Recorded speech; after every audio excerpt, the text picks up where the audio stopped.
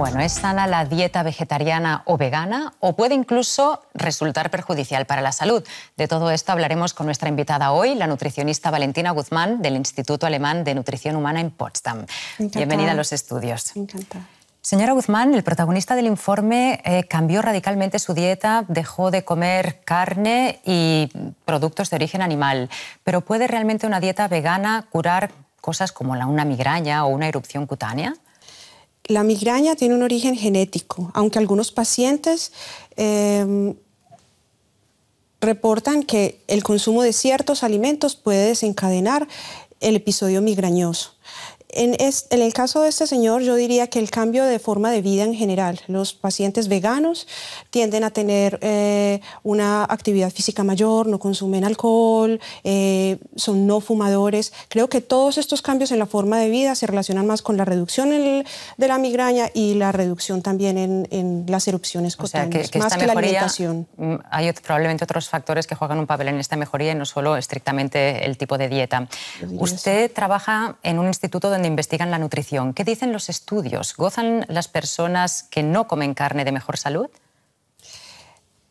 El aumento en el consumo de frutas y verduras se relaciona con una reducción en el riesgo de enfermedades crónicas, de obesidad, de diabetes tipo 2, de enfermedades cardiovasculares.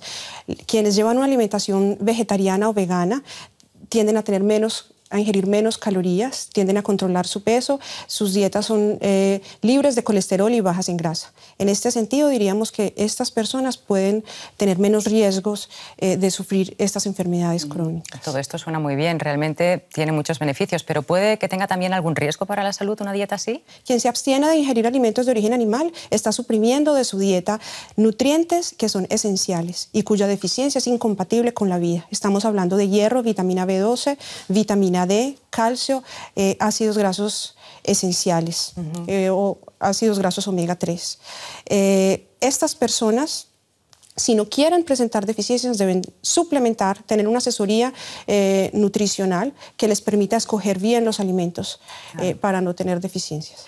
¿Hay personas que deberían evitar una dieta vegetariana o vegana?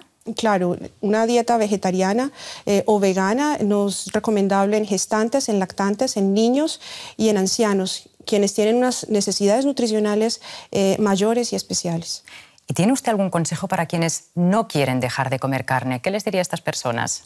No más de una porción al día.